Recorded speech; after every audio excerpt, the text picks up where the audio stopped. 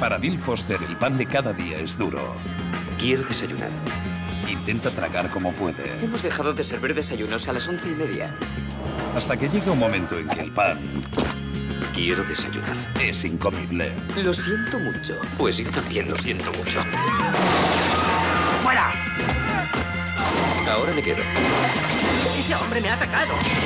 Es propenso a la violencia. Creo que esa es la definición. ¿Yo soy el malo? Michael Douglas. ¡Un tipo loco! Un día de furia. Estreno viernes 25 a las 10 en Extreme.